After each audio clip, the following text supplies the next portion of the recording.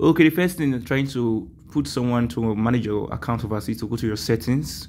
While on your settings, try to go to your you go to your page access. After you go to your page, I see your page settings. You log in your page settings. Then you come down, scroll down where it a bit. You come to your page access.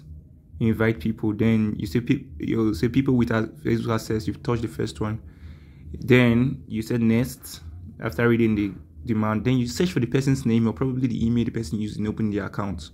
You search it and you log on, you tap, then you read the content of what and what and what the person we're managing. If the person have the full control, that means the person can actually remove anybody. Then you come to this analytics. You see the kind of um, uh, assignment probably uh, you can give to someone.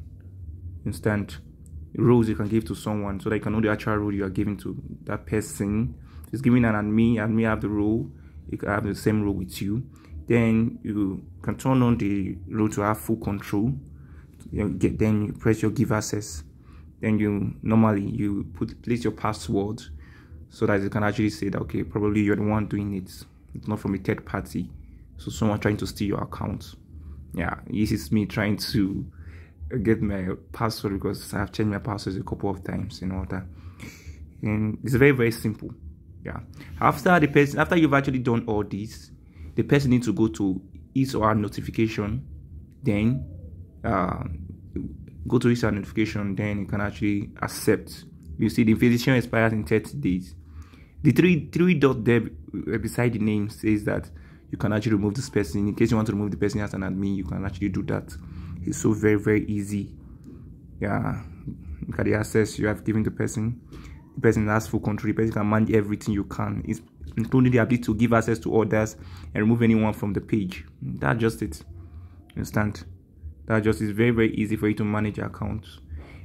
Manage your account and manage your accounts okay? You can read just try to read the the the, the control you have actually given given to the person. And make sure the person is someone that is very trusted yeah. Someone that's trusted so so trusted actually. Let the person be trusted.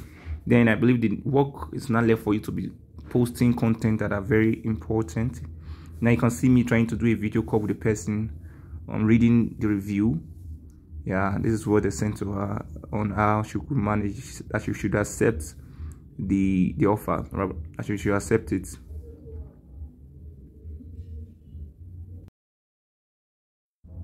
okay after review then you can just accept press accept to accept you giving a person the role to do. Make sure you follow the person. If the person is not well uh, groomed in this kind of stuff instant you just try to follow him or her up instant and that just is very easy. Yeah. I'm trying to read the terms and conditions what you should know about full control okay that's just it i believe this video can actually help you guys in managing your account and probably sharing your page to someone in an eligible country. Yeah so that the person can actually help you manage your account over there then you manage it over here. So it's very easy. As you can see guys monetization is quite easy. Provided you have someone overseas that can help you manage your account. You can see now people that will manage the page one nigeria and one united states. That's it. Follow for more. Thank you